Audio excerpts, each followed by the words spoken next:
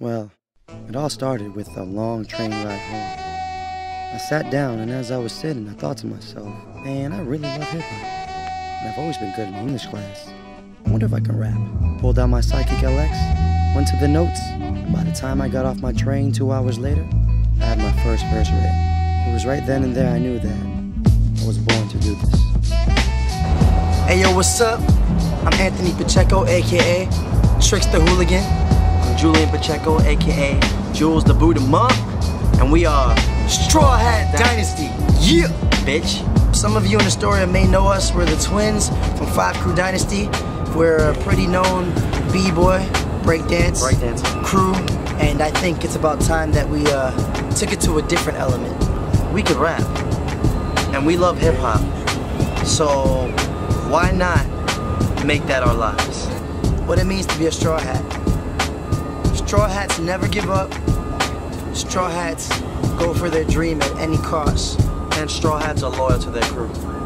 Music is walking your high school crush to the train every day, knowing you don't got the balls to talk to her. But 10 years later, you might just do that.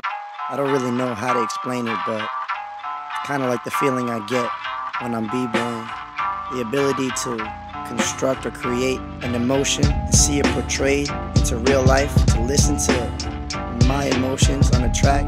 Yeah, that's why I do this. Welcome to Hellsgate is our first mixtape release. Basically, we'll be able to show the world who we are as individuals, who we are as MC, and who we are as artists. We're gonna show you guys who we are creatively and how we like to go about music. There's a bunch of beats on the mixtape that allows to display our versatility in flows, our versatility in styles, as well as our songwriting abilities. Most of these beats on the album were produced by Days P. Shout out to our little brother. Black the Beat Man. Shout out to Fame Life. Fame Life? And DJ Fresco. Shout out to Products of Infamy, all the way from Arizona. Astoria is where we come from, and it's the neighborhood that made us.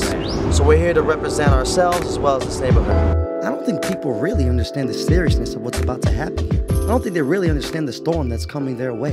You see, me and my brother have worked really fucking hard for this shit.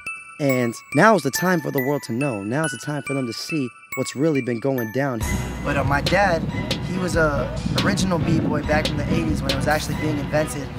And you know, I guess it passed down to our genes and we became b-boys. Much like being a b-boy, where the idea is to create movement, being an MC, the idea that we believe is to create your own language. By being a b-boy and understanding the music and living in that music and making our body become the music, it's helped us to have a deeper understanding for music. And I believe it has helped us. That's what really inspired us to move on, move on, become the music, and, and eventually make the music.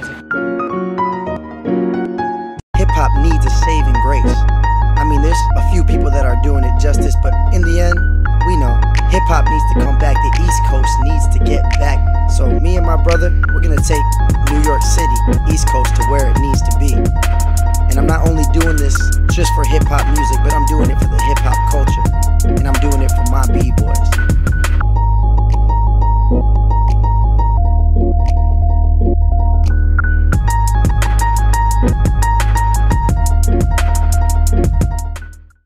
just, it's just kind of like that. Play a little bit. Yeah. Um, text me. You seen that?